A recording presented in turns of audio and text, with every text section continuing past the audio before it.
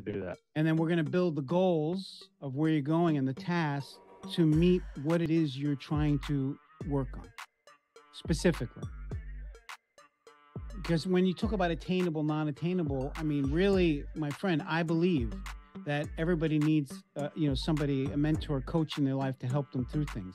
And I believe that anybody, everybody, regardless of circumstances and age, can improve their lives, that they could tap into the resource inside of them to achieve at a very high level. And I believe that you can do anything, that anything is possible as long as it's within the laws of gravity and physics, right? You're not going to dribble a football. Okay, it's not going to happen.